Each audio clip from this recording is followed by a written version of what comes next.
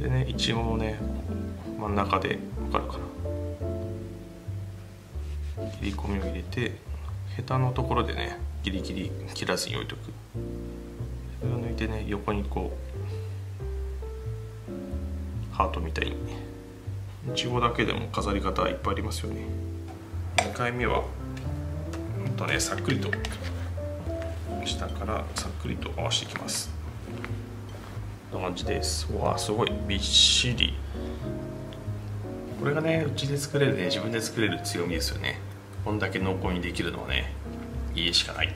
是非やってみてください。扇みたいな切り方で。下にね背もたれをつけてあげると安定するんで。ここはねオレンジとか柑橘系でもいいと思います。